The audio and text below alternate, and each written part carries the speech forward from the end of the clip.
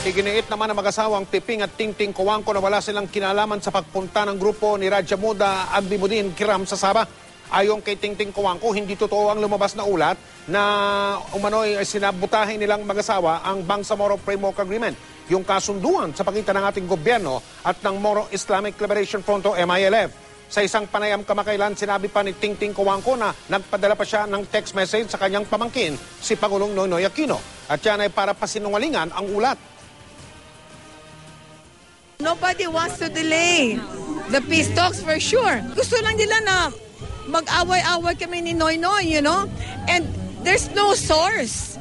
Show me who said it.